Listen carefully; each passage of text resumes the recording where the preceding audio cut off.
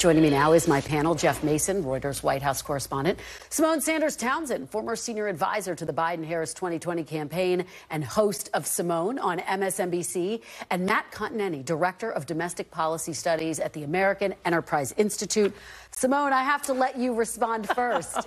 Where do you want to begin? And, and I want to start with the delegates. Okay, there you I go. I want to start with the delegates because for people at home watching, mm-hmm. the way in which you win a primary, whether it be Republican or Democrat, is you have to win delegates. Delegates are awarded state by state in the primary process that is administered by the political party apparatus, the RNC and the DNC for Congressman Phillips to say that uh, his strategy is essentially South Carolina with a touch of Nevada, and then his campaign apparatus is also saying Michigan, there are not enough delegates to be the Democratic nominee. In 2020, the Democratic nominee needed 1,991 delegates to be the winner.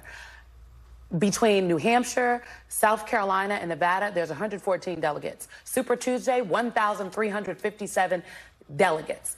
The math is not mathing, Kristen. What do you think about that, Jeff? The, the, the math doesn't add up, Symone is making the case. I Def- mean, does he have a path? Definitely not going to argue math with Symone. I got all those numbers coming out like, oh, wow. Like, let me get my calculator. Here's the point I would make. He does have a right to run. Mm-hmm. And the, some of the things that he is saying are absolutely backed up by the polls. There are lots of Americans, there are lots of Democrats who are not happy with their choice.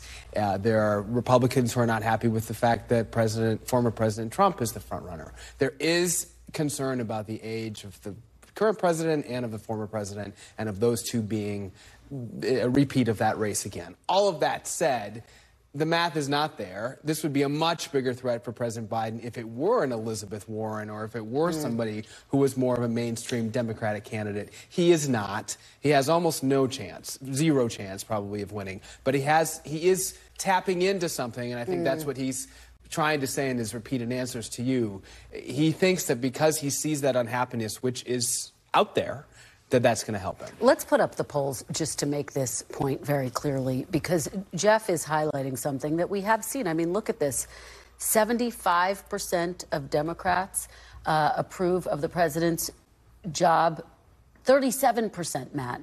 Say they approve overall of voters overall. So clearly, at this point in time, and this is a snapshot in time, he does have some vulnerability. How do you anticipate Republicans will try to capitalize on this moment? Well, they're going to try to point out all the differences in the Democratic Party. They see some of these numbers with Biden dropping under 40% in the latest Gallup poll because of erosion among Democratic mm-hmm. voters as a sign of trouble ahead. I will say this he might not need math to make an impact in this race. 1968, Gene McCarthy didn't even win New Hampshire, but his outsized showing forced LBJ from the race. Phillips may be pursuing a similar strategy. What about that, Symone? The, the optics of it, are, are, do they start to chip away at the president's support around the edges and, frankly, emboldened the Republican frontrunner, Donald Two things Trump? can be true at the same time. Dean Phillips has actually no chance of winning the Democratic nomination because of math, and his candidacy is, in fact, troubling for the Biden Harris reelection campaign mm-hmm. because Dean Phillips is going to go out there and he just, I, I, I, heard him say, I will not demean the president, I won't undermine him, but his entire campaign is essentially an undermining of President Biden and frankly, an undermining of his policy goals. He went, he, he said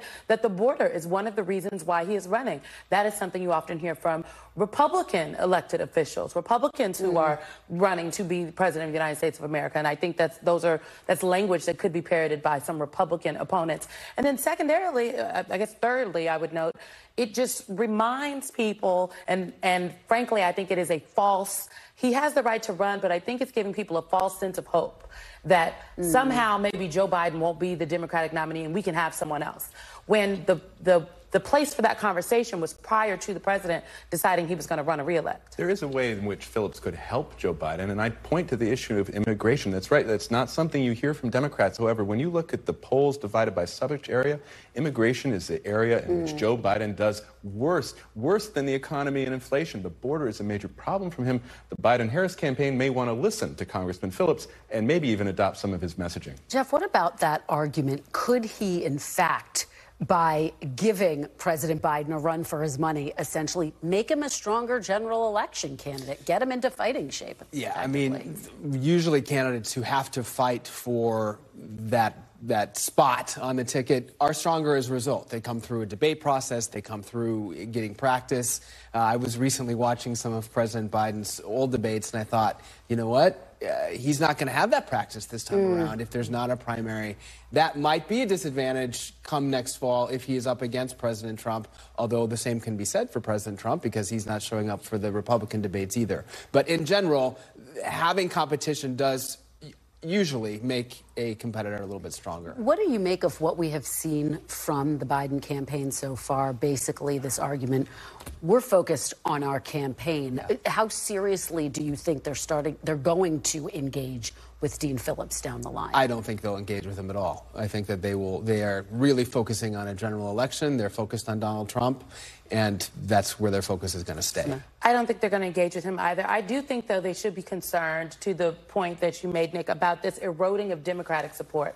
There's soft support among young people when it comes to the general ticket. I would note if you look at the vice president's numbers, she's actually very strong among younger voters, millennial voters, and Gen Z voters. And those are folks that the president and the vice president are going to need to come out in strong numbers in a general election if they want to beat whoever the Republicans put. Biden Harris is pouring money into the swing swing states already at this early mm. time because they are concerned about these eroding numbers, and I think the problem will only grow worse in time. Speaking of money, uh, Dean Phillips is answering some questions about this donation he got in 2019 from Harlan Crow. Of course, there are all sorts of questions about the donations that Harlan Crow gave to uh, Justice Clarence Thomas. I want to play his response on the trail today and get everyone's reaction. In June 2019, Harlan Crow gave you a maximum donation of $2,800 in your primary. Could you explain the backstory there and what the relationship with Harlan Crow is, or how you approach, you know, big money in general? Yeah, yeah. Well, I'll tell you exactly. I, I don't believe I've ever met Harlan Crow. Um, Sorry. Someone mentioned recently that he contributed to my campaign. I think I've had thousands and thousands of people contribute. Uh, so I won't opine on him. Uh, I take campaign finance reform really seriously. I do not remember ever making a call to Mr. Crow. If I did, by the way, and there's evidence of it, I will be the first to acknowledge it because I don't know him. Jeff, what do you make of that response? I'm not sure that saying I don't remember is going to help him yeah. with this. Yeah, he's going to have to get some clarity. Symone, do you Yeah, agree? he's going to have to have a better answer. I find it hard to believe the first time he knew about this was when the reporter asked him today on the campaign trail. Yeah. What do you think, Matt? I mean, th these are the types of questions yeah. that, again, we're talking about the fact that he's running a long shot campaign to begin with, but to have this loom large over your first day, not sure. exactly one of the questions. I'm struck, but he's facing a lot of process questions when it's in fact the message of his campaign that I think is the most significant element right now and what it says about the current state of the race. And look, I think Phillips is right. A Trump Biden race is one that right now Trump would win. And that has, I think, terrible implications for this country. Symone, very quickly before we wrap up, this idea that Jeff raises, which is could this in fact get President Biden into a tougher shape in the general election? Could it make him tougher on the debate stage, for example? I don't think it will because the campaign is not going to engage with Dean Phillips and the president himself is not going to engage. There will be no, and I've, you know, I go out to eat at restaurants and people are very upset that I've said this before, but I just want people to know these are just the facts. There aren't going to be any debates because the Democratic National Committee facilitates the debate process in a Democratic primary and a presidential, and They've picked their candidate. Mm. Their candidate is the sitting president of the United States. That's not me, that's just the rules. There you have it, the truth. Thank you. Really appreciate it, guys. Great panel, Jeff, Symone, and Matt. Thanks for watching. Stay updated about breaking news and top stories on the NBC News app or follow us on social media.